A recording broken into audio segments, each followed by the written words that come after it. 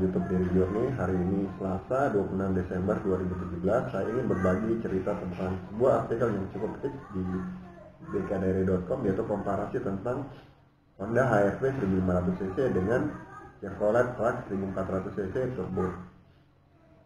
Menurut saya artikel ini juga menarik uh, kalau guys Indo yaitu gabungan industri kendaraan bermotor Indonesia uh, menempatkan kedua kendaraan ini di segmen low SUV.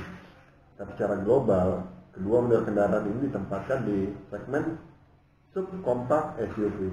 Nah, sebelum masuk lebih lanjut, saya akan coba bercerita tentang uh, apa yang saya ketahui tentang segmen SUV. Jadi segmen SUV itu adalah sebuah kendaraan yang desainnya seperti Jeep dengan karakteristik uh, desain kendaraan yang tinggi dan jarak uh, terendah bodi ke tanah ground clearance-nya itu tinggi.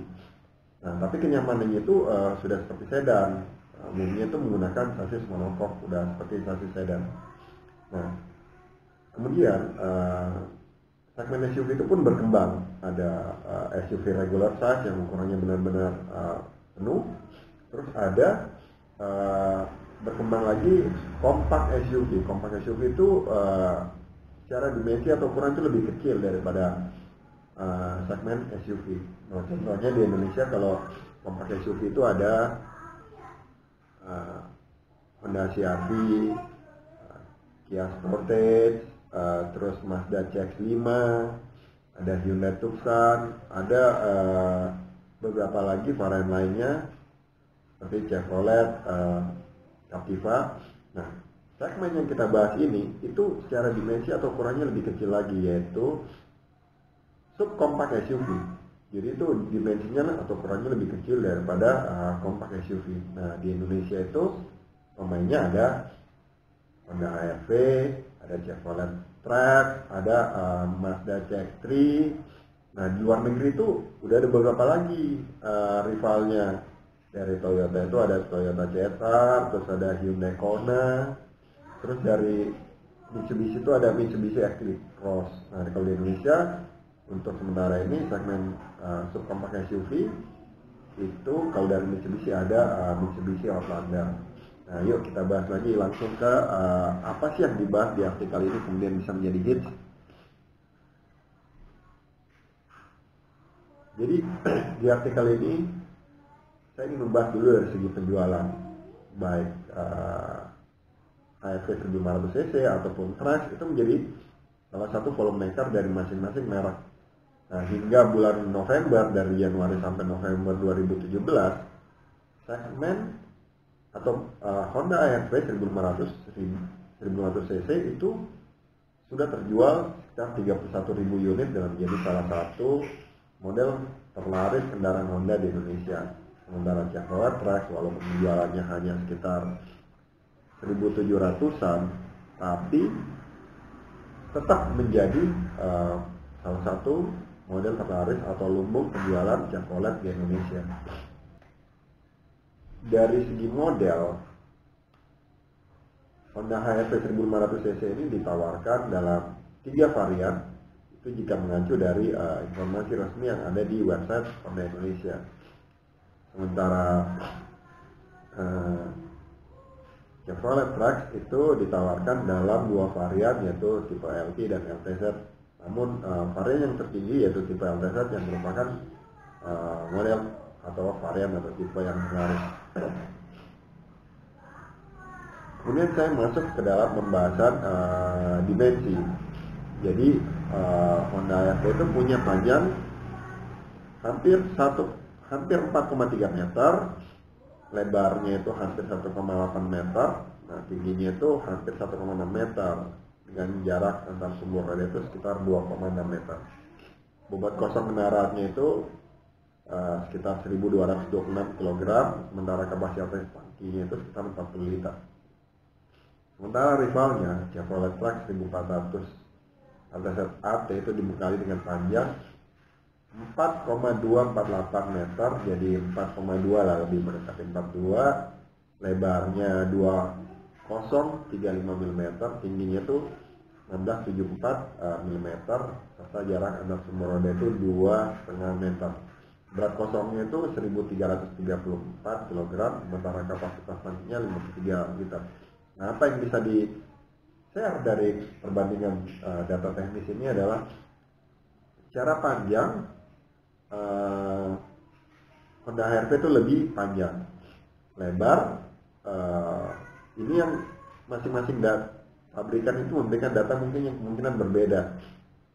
Chevrolet itu mengungkap data truk dengan uh, yang terlipat keluar sementara uh, Honda itu merilis data yang uh, di mana posisi spion itu uh, melipat ke dalam. Jadi agak sulit membandingkan. Sementara jarak sumber roda uh, Honda HRV itu lebih panjang terus bobot kosong kendaraannya sendiri uh, Honda HRV lebih ringan kapasitas tangkinya Chevrolet Trax lebih uh, memuat bensin lebih banyak. Nah bisa bilang kalau dari data teknis ini kemungkinan untuk stabilitas laju dan performa kurang lebih sama saja. Karena uh, walaupun Chevrolet Trax itu hanya 1400 cc tapi dia dilengkapi turbo nah terus kemudian kita akan masuk ke uh, penjelasan lebih lanjut tentang perbandingan kapasitas uh, mesin dan performanya. Nah jika melihat Chevrolet Trax 14 LTC AT itu dilengkapi dengan mesin 1400 cc mesin bensin dengan turbo charger dan dual CV CP dan uh, bisa disebut uh, dia raja di kelasnya. Nah SUV yang diimpor secara langsung dari Korea Selatan ini kemungkinan besar ini merupakan pengembangan teknologi Daewoo yang diakuisisi oleh Chevrolet beberapa waktu lalu ketika salah satu merek terkemuka dari Korea Selatan ini uh, diakuisisi uh, mengalami kemungkinan mengalami uh, permasalahan finansial dan kemudian diakuisisi oleh perusahaan dari Amerika itu seperti halnya Kia yang uh, kemudian diakuisisi oleh Hyundai.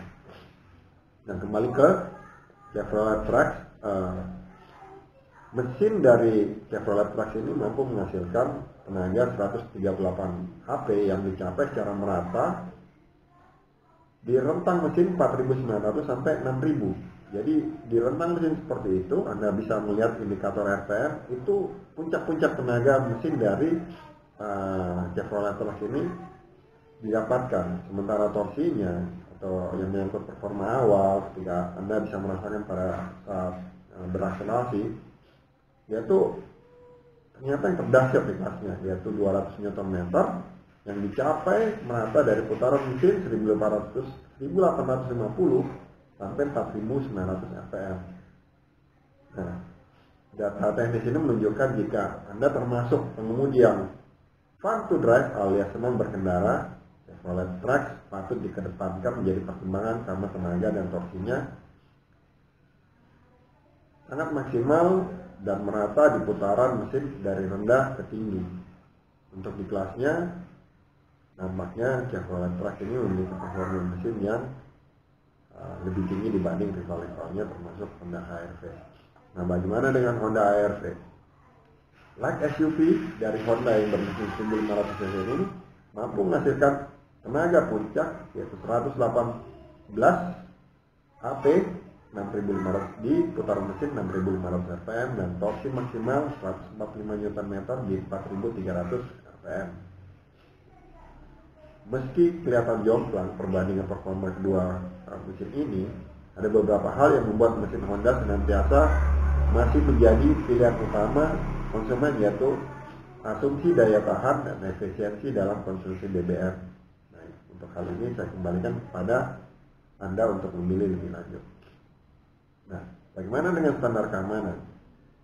Saya sering banget uh, buka situs Euro NCAP di Eropa karena saya menganggap lembaga independen, lembaga pengujian tes ini yang paling independen dan paling qualified lah di dunia karena dia tidak uh, berafiliasi dengan pemerintahan seperti NHTSA di Amerika. Nah, dari data Euro NCAP ternyata kedua uh, model kendaraan ini sudah diuji di sana walaupun ketika masuk di Indonesia ada beberapa fitur yang kemungkinan uh, di spec down untuk uh, mengejar nilai jual yang lebih uh, kompetitif di market dan uh, potensi untuk margin keuntungan dari mesin pabrikan itu uh, itu jadi lebih tinggi. Jadi sederhananya lebih menguntungkan lah buat pihak pabrikan dan konsumen pun secara secara makro atau secara umum bisa membeli kendaraan ini dengan harga yang lebih terjangkau. Nah, yuk kita ulas lebih lanjut mengenai hasil yang diraih oleh kedua kendaraan ini di uh, Euro NCAP. Jadi Honda HRV itu meraih nilai rating maksimal dari empat uh, kriteria yang diuji di Euro NCAP uh, Honda HRV berhasil meraih 5 bintang yaitu untuk uh, proteksi kepada penumpang dewasa itu 86% untuk proteksi kepada penumpang anak-anak itu 79% untuk proteksi kepada pejalan kaki yaitu 72% dan uh, fitur pendukung keselamatan itu 71%. Sementara Chevrolet Trax uh, itu juga meraih hasil uh, pengujian yang maksimum yaitu 5 bintang untuk proteksi penumpang dewasa 94%, proteksi kepada penumpang anak-anak itu 85%, Proteksi kepada pejalan kaki ketika terjadi insiden yaitu 64% dan uh, fitur pendukung keselamatan yaitu 81%. Nah, data ini uh, sekali lagi data di Eropa. Kemungkinan ketika spek yang dihadirkan di Indonesia diuji di uh, Euro NCAP hasilnya uh, bisa jadi berbeda, tapi sedikit banyak kita mendapat gambaran bahwa kedua model kendaraan ini telah diuji di Eropa dan memiliki rating keselamatan yang um, sangat baik ketika dipasarkan di Eropa dan ketika dipasarkan di Indonesia walaupun spek down Anda tetap mendapat fitur keselamatan yang cukup baik. Misalnya uh, ketahanan bodinya uh, daya stop kendaraan ketika terjadi insiden saya rasa uh, tetap sama yang paling di spek down itu adalah beberapa fitur uh, yang mendetail yang ada dalam kendaraan secara uh, bodi kendaraan kurang lebih pasti sama. Nah, kesimpulan, jika Anda ingin main aman, artinya Anda ingin kendaraan yang mereknya lebih ternama, terus uh, jaringan bengkelnya lebih luas, kemungkinan Honda HRV uh, bisa menjadi uh, pilihan atau pertimbangan Anda untuk membeli kendaraan ketika Anda tertarik uh, memiliki kendaraan di segmen low SUV. Nah, sementara Chevrolet Trax memang Anda perlu keberanian lebih seandainya Anda konsumen awam atau konsumen secara umum, kecuali Anda emas jati dari Chevrolet. Apalagi jika Anda masih mempertimbangkan hal-hal uh, yang sebenarnya sudah tidak terlalu krusial ya, seperti nilai jual kembali dan pertimbangan nilai brand. Kenapa menurut saya hal ini kurang krusial? Karena gini, ketika Anda membeli kendaraan dan Anda masih mempertimbangkan nilai jual kembali, kawan, mobil itu bukan uh, kendaraan investasi atau barang investasi. Dia akan mengalami depresiasi. Dari brand terkenal apa pun, kecuali mobil-mobil yang sifatnya kolektif, uh, collectible gitu, collectible item, itu mungkin akan menguntungkan. Tapi kalau mobil-mobil secara umum pasti akan mengalami depresiasi, walaupun tingkat depresiasinya itu variatif dan brand ternama bisa jadi lebih baik misalnya Avanza tapi tidak semua brand Toyota ataupun brand Honda itu memiliki nilai jual kembali yang uh, baik. Uh, jadi anda harus mempertimbangkan itu. Dan kedua lagi adalah pertimbangan nama brand uh, kayaknya masyarakat Indonesia juga semakin cerdas gitu bahwa kita tidak membeli merek. Bayangkannya gini deh logikanya. Anda membeli kendaraan katakanlah pemakaiannya 2 atau 3 tahun. Nilai depresiasinya katakanlah 30 persen. Sementara rivalnya dari brand ternama itu katakanlah 20 persen. Ada selisih 10 persen uh, nilai jual kembali di antara dua model kendaraan dari brand ternama dan katakanlah kurang ternama.